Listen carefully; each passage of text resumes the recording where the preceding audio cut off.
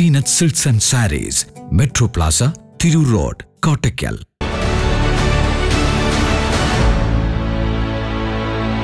നമസ്കാരം വെട്ട news on ടൈമിലേക്ക് സ്വാഗതം. തിളങ്ങട്ടെ ബന്ധങ്ങളുടെ സുവർണ ശോഭ beauty mark golden diamonds. C P M Malappuram ജില്ലാ സമ്മേളനത്തിന്റെ ഭാഗമായി തിരൂരിലെ മാപ്പിളപ്പാട്ട് ഗായകരും ആസ്വാദകരും ഗവേഷകരും ഒത്തുചേർന്നു. മലബാർ സംഗീതത്തിന്റെ വേരുകളും പുതിയ ഭാവങ്ങളും നേടിയ ഏകദിന ശില്പശാല തിരൂർ എൻ ജി ഒ ഹാളിൽ നടന്നു.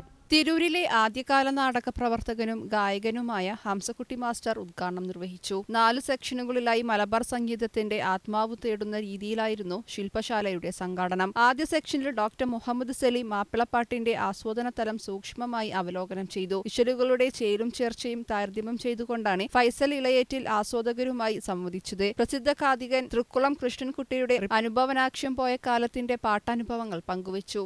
വെട്ടം ന്യൂസ് തിരൂർ.